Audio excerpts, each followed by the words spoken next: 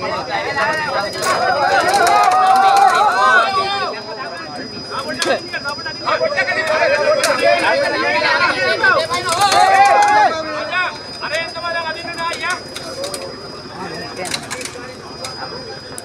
Van රථය බකමුණ ප්‍රදේශයේ සිට දියබෙදුම දෙසට ගමන් කරමින් සිටියේදී වනාලි ප්‍රහාරයට ලක්වුණේ. අනතුරින් මියගිය 28 හැවිරිදි රියදුරගේ දේහය බකමුණ රෝහලේ තැන්පත් කර තිබෙනවා.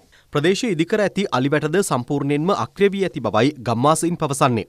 බණ්ඩාරගම අටලුගම ප්‍රදේශයේ සරුංගල් යවමින් සිටි පිරිමි දරුවන් දෙදෙනෙකුට අධිපැලති විදුලි රැහැනකින් විදුලි සැර වැදී බරපතල පිළිසුම් තුවාල ලබා තිබෙනවා. තෙමහල් නිවසක ඉහළ කොටසේ සිටයි එම දරුවන් සරුංගල් යවා තිබෙන්නේ. සරුංගලය විදුලි රැහැනක පැටලීමෙන් පසු ඇලුමිනියම් බටයක් ආධාරයෙන් එය ගැනීමට උත්සාහ කිරීමේදී විදුලි සැර වැදී තිබෙන්නේ.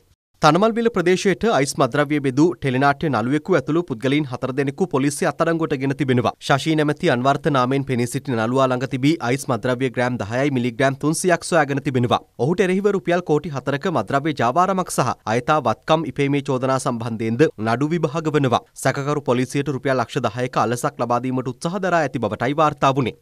රුපියල් විසිලක්ෂ හැටදහසකට වැඩි වටිනාකමකින් යුත් විද්‍යුත් දුම්මැටි තොගයක් මෙරටට රැගෙන පුද්ගලයෙකු කටුනායකදී අත්අඩංගුවට ගැනුණා. ඒ මැලේසියාවේ සිට පැමිණි සැකකරුගේ ගමන්වලු පරීක්ෂා කිරීමේදී විද්‍යුත් දුම්මැටි රාජසන්තක කර සැකකරුට රුපියල් ලක්ෂ පහක දඩයක් නියම කෙරුණා. බෙලියත්ත දෙද්වාවල ඉදිකැටිය ප්‍රදේශයේ සතුන් දඩයමට යොදාගත් විදුලි කම්බියක ගැටීමෙන් කාන්තාවක මිය ගියා. අනතුරින් මියගියේ 74 හැවිරිදි කාන්තාවක්.